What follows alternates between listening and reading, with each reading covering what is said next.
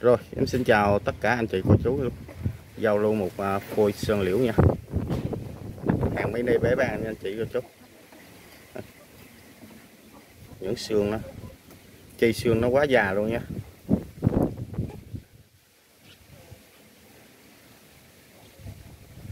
Đây, em làm bầu sơ dừa để giữ ẩm rễ nha anh chị, cô chú. Cây này em khai thác ngay về làm bầu sơ dừa nha. Bầu, Đây là bầu sơ dừa để giữ ẩm rễ nha. Hoành à, anh chị, cô chú, soi lại ngón tay giúp em nha. Cây này nó cao từ cái mặt bầu đây lên là tầm 12 nha. Còn cái tán ngang nó là khoảng 15 17 nha. Quá điều điệp luôn nha.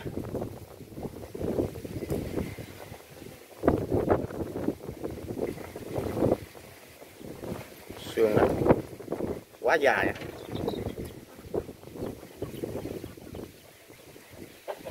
rồi cảm ơn anh chị cô chú đã xem bài và ủng hộ luôn.